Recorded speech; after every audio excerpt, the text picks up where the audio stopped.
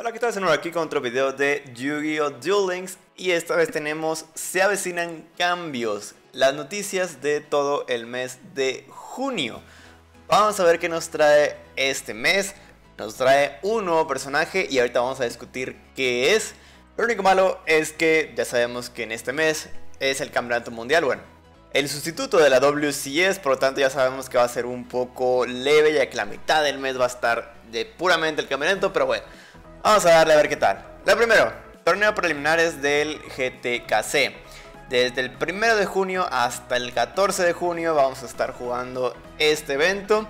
Eh, la primera fase, quiere decir los NDs, son desde el día 1 hasta el día 14, pero el día 12 empiezan las eliminatorias, siempre es un fin de semana, donde tenemos que estar ganando los máximos puntos. Y bueno, en esta ocasión los 100 mejores pasarán a la siguiente ronda, tendrán una invitación para las finales. Y bueno, al mismo tiempo que está la KCGT, también tendremos circuito de misiones en curso, completa misiones para recorrer por el circuito, consigue recompensas como gemas y la nueva carta Destino Cambiante.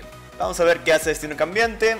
Dice, cuando un monstruo oponente declara un ataque, selecciona el monstruo atacante, niega ese ataque y si lo haces, cambia la posición de defensa y no puede cambiar de posición mientras este monstruo esté boca arriba.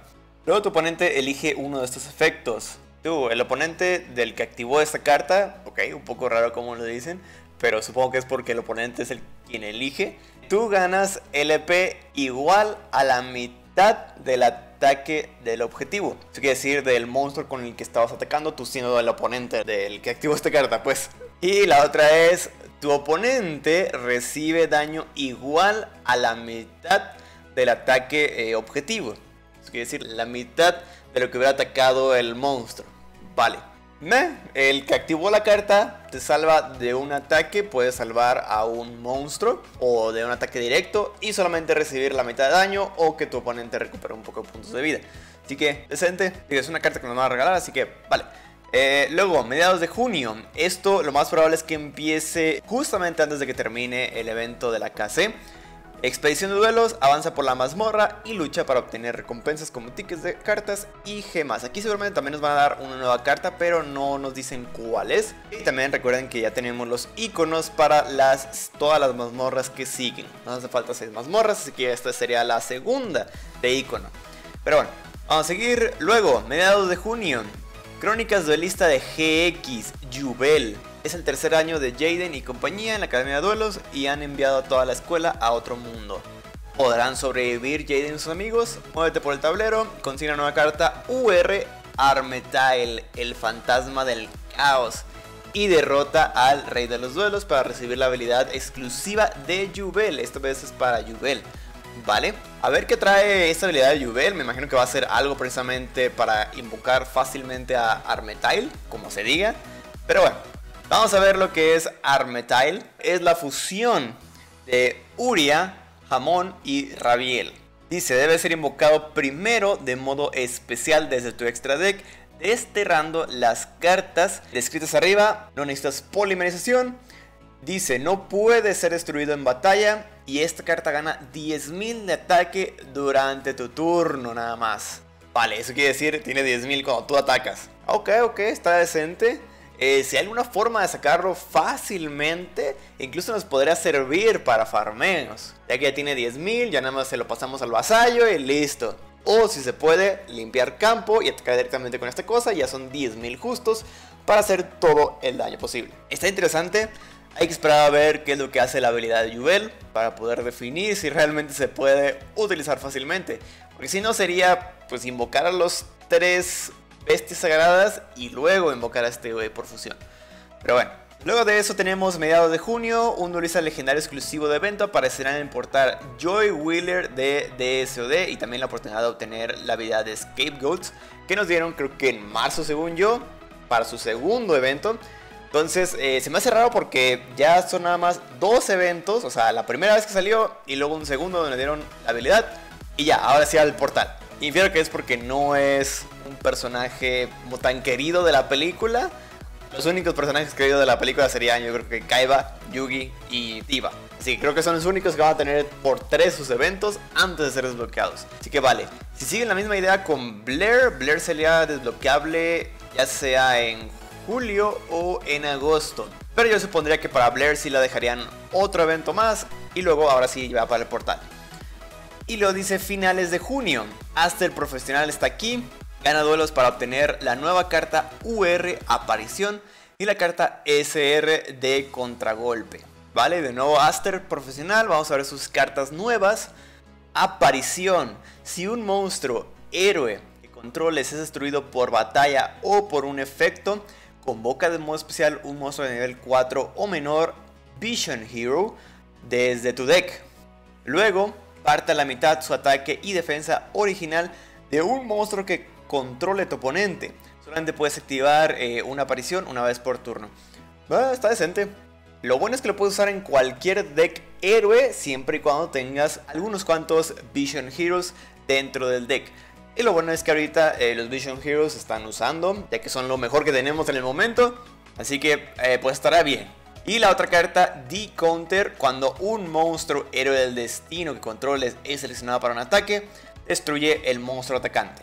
Está bien, eh, no selecciona la carta, eso quiere decir que si hay un monstruo que diga no puede ser seleccionado, por efectos de cartas, no hay problema, esta la destruye. Lo único malo es que nada más es para héroes del destino, pero está bien. Y lo mejor de todo es que eh, pensé que era al revés, que la UR era este y dije, eh, no la veo como UR, la veo más como SR. Entonces está bien, UR aparición y SR de contragolpe. Perfecto. Luego seguimos, eh, finales de junio, obtén un nuevo duelista. obtén a cierto personaje de la película de el lado oscuro de las dimensiones, obtén objetos exclusivos del evento para desafiar al personaje del evento y su frase es nunca me he hecho atrás ante un desafío, vamos a luchar. Aquí la verdad es que no podría decirles quién es exactamente, digo, los únicos que tienen IDs que hacen falta son Aigami y Tea. Entonces, esta frase no creo que sea de Aigami, lo más probable es que sea de Tea.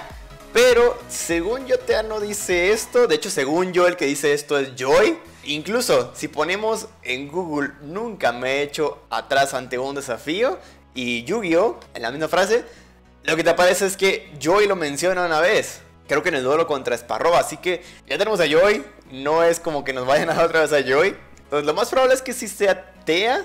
Pero igual, recuerden también, tenemos las imágenes de Tristán y de Bakura. Entonces podría ser que sea Tristán el que nos vayan a dar. Pero como dije antes, ya tenemos el ID de Tea y también las habilidades de las magas. Pensábamos que era de Yugimoto, pero ahora que ya está Yugimoto dentro del juego y que no trae estas habilidades, sino que trae otras, suponemos que las habilidades de magas son para Tea. Así que quien está más desarrollado, porque tiene ID y habilidades, es Tea.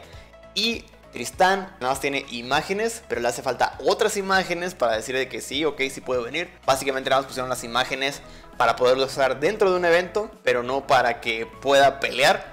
Pero bueno, ya veremos cómo vaya pasando el tiempo. Así como Yugi, si le ponen en la descripción alguno de ellos, va a ser el más probable. Lo único malo es que para TEA solamente harían falta las imágenes. Entonces eso sería hasta que salga el evento. Así que vale, habrá que esperar más tiempo. Y luego también tienen planeado actualizar los niveles máximos para los personajes de 5DS hasta el nivel 40.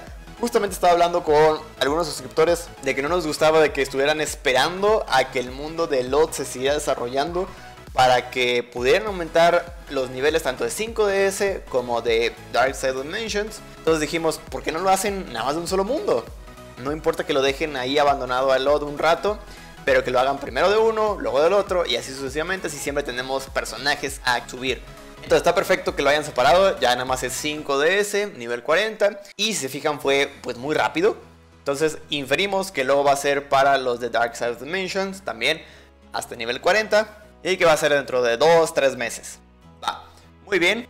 Y bueno, además de eso, habrá más eventos, campañas y otras cartas. Vale, eso es todo por el mes de junio.